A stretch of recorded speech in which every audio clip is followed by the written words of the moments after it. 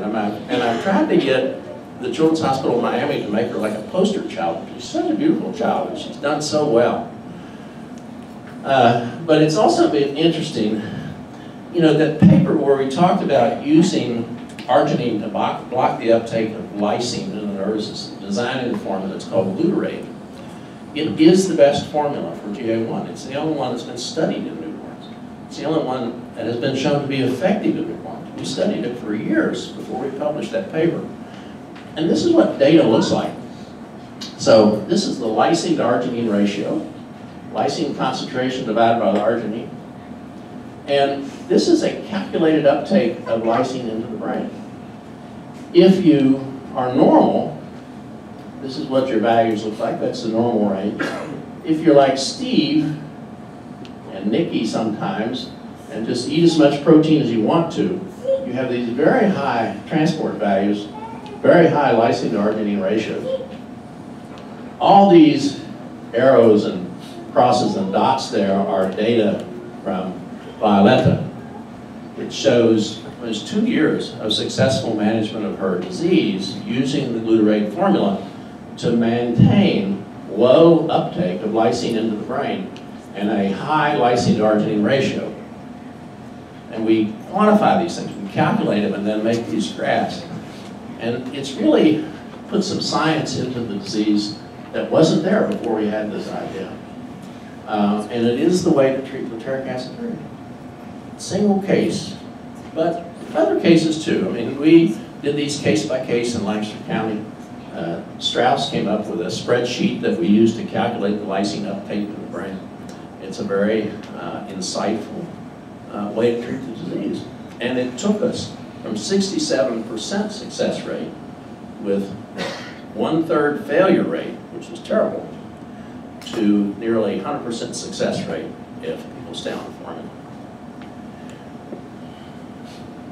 Gotta wrap it up, gotta wrap it up though, unfortunately.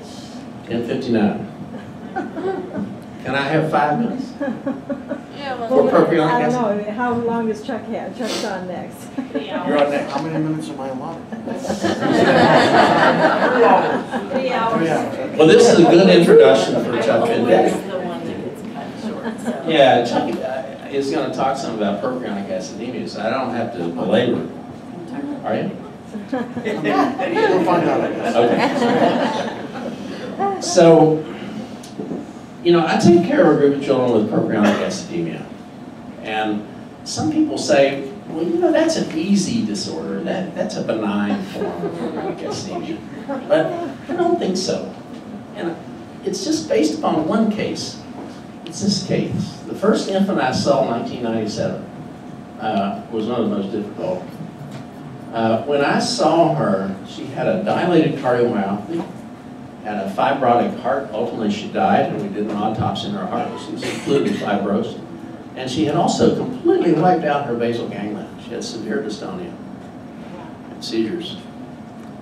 Now, she was undiagnosed. I, I think the father decided he didn't want to do newborn screening, and so she wasn't screened. She was missed because of a decision, and I, to be honest, I don't know whether it was the parents' decision or whether it was the midwife's decision, but anyway, she was missed at the newborn screening. Came into Hershey Hospital with a dilated cardiomyopathy, very uh, sick. I happened to be there seeing another patient. They said, we just had this girl and has a big heart and, and she has ketones in the urine. What do you think she could have? And it didn't take long to find that she had propionic acidemia.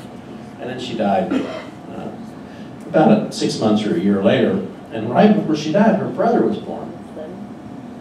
He's now 21 years old. He has never been in a hospital. He has gone to school with other children. He's never had a seizure. If he walked in this room, other than being dressed like an Amishman, you wouldn't think anything was the matter with him. This is the, this is the way we learn. And we have over the years tried many different things. We've developed a formula that's called Procitric that we're using, that we're studying. But I will tell you, in all honesty, Procitric does very well for the nervous system. We have good cognitive outcomes. Kids are going to school with other children. Uh, in our group of 28 patients on this formula, nobody's had a seizure. So neurologically, we seem to be controlling the disease, but we do see cardiomyopathy. There's something we are missing. The cardiomyopathies so far have not caused any deaths in the treated patients. They have high end diastolic volumes. They have a dilated heart. That's about 90th percentile. It's not terribly dilated most of the time. They do respond to therapy. They can recover. Their beta natriuretic peptide, which is the hormone released by the heart, does go up as part of their disease natural history. Those with propionic acidemia, do you ever monitor beta natriuretic peptides? That's something that is part of your routine? It's a good way. It's cheaper than an echo. It Takes you a few hours to get a result. It's a very interesting heart, uh, cardiac response to dilation and stress. It's one way to monitor cardiomyopathy. And we've done that, we've tried many different things with this procitric formula to enhance uh, the function of the heart, but there is something we're missing. And Dr. Venditti and I both are trying very hard to find out what that something is. Because of the 28 patients who are on therapy, none have died of cardiomyopathy or arrhythmia. But in the untreated group, that is about another 50 patients or 60 patients who have the same mutation, same genetic background. There have been, 10% of them have died.